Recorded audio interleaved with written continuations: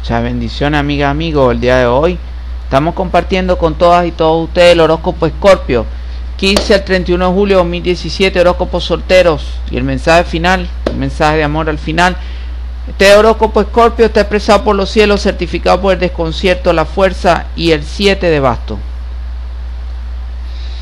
Serán los cielos los que se expresarán para usted con respecto a dichas tres cartas, le certificarán la información. Pero antes Debo decirle que hay tres aspectos astrológicos brillando en los cielos y que son verdaderamente relevantes para todos y todos los signos conocerlos. Solo en casa 4 podrás disparar la lanza del amor para intentar lograr un acercamiento.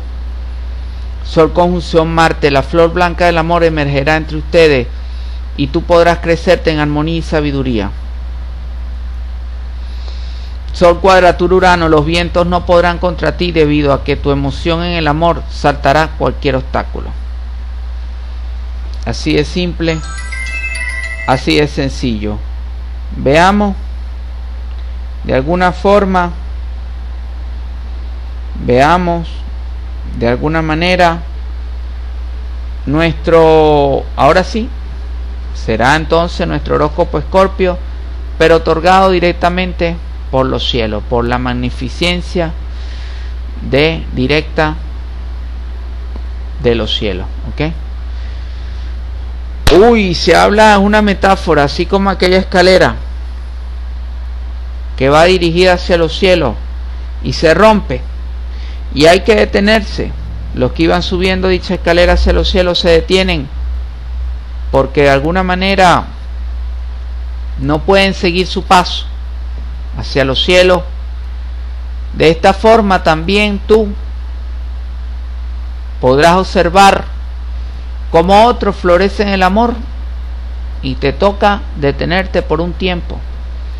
Por cortes en el camino que se pueden ver representados, cortes en el camino que se pueden ver eh, establecidos por energías de personas que de alguna manera mm,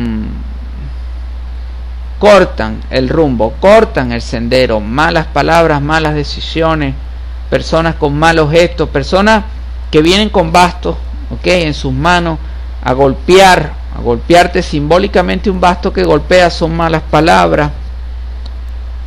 Simbólicamente sería, eh, por supuesto, lo vinculado con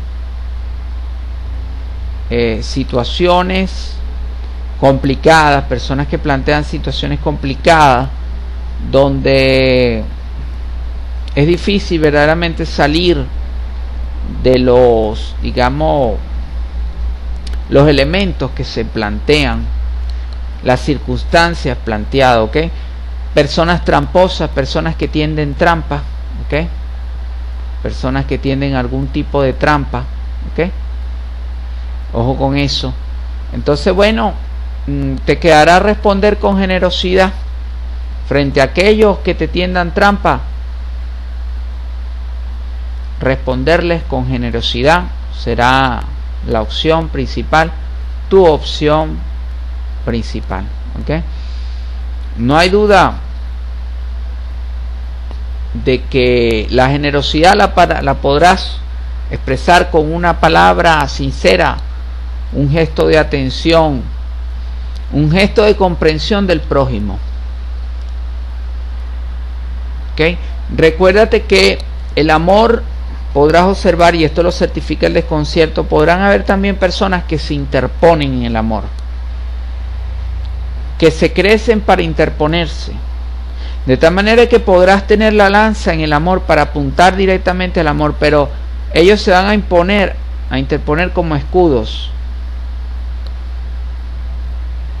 para que no puedas de alguna manera avanzar en la unión de las manos. Y por supuesto no solamente importa ponerse como escudo, sino también porque es una metáfora celestial lo que viene, así como aquel que lanza su flecha en el amor para derribar los obstáculos, pero resulta ser que los obstáculos se crecen y terminan golpeándolo, así tú también podrás evidenciar, así tú también podrás observar cómo ciertas eh, personas se interponen en tus deseos en el amor. Por ejemplo, estás en una fiesta y hay alguien que te gusta, pero llega otro, se apresura, actúa de forma más veloz para que tú no puedas generar ese acercamiento que tanto anhelas, que tanto deseas.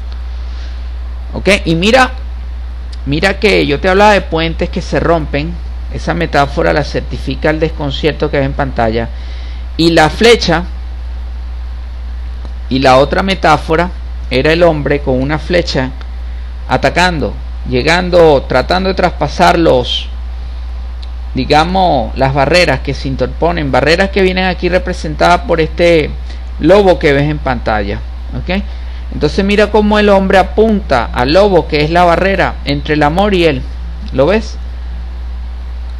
Pero esta barrera, por supuesto, al ser un animal se crece. Y se crece en el sentido de que mira que la carta del siete bastos cayó al revés y coincide con la metáfora de los cielos en el sentido de que mm, el hombre está más pequeño, está muchísimo más pequeño que la barrera que tiene al frente, ¿ok?